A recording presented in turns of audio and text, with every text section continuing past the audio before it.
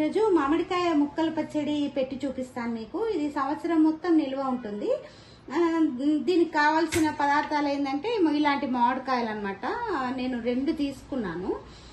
రెండిటితో పెడతాను. మీకు ఎలా చేసి చూపిస్తాను అని ఈ రెండిటితో పెడుతున్నాను. ఇలాంటి పుల్లటి కాయ అనమాట దీంతో ఈ ముక్కలు సన్నగా కోసుకోవాలి. ఇది ఐదు కప్పులు అయిపోయింది అనమాట ఐదు కప్పులకి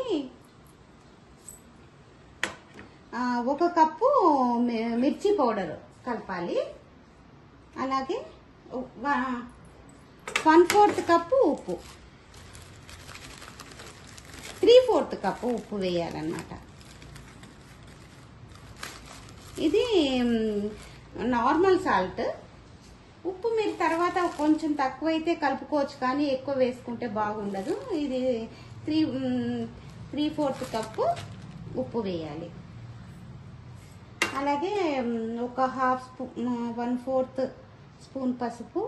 అలాగే ఈ స్పూన్తో నేను వన్ ఫోర్త్ మెంతులు వేశాను. అలాగే ఒక స్పూన్ ఆవాలు దోరగా వేయించాను. ఇది పొడిగొట్టి కలుపుకుంటాను అనమాట అంతే. ఇందులో మేము ఇప్పుడు నూనె యాడ్ చేయము. ఇలాగే కలిపేసుకొని పెట్టేసుకుంటాము.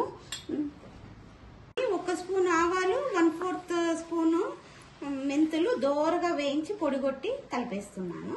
ఇదంతా కలిపేసి పెట్టేసుకోవడమే జాడీలోకి తీసుకోవడమే.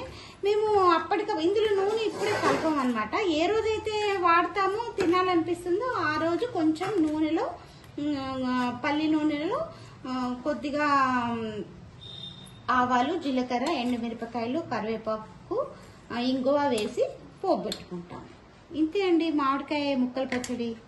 ఇది మనం ఇప్పుడు తీసుకొని జాడీలో పెట్టుకోవాలి. రేపటి వరకు ఊరిపోతుంది.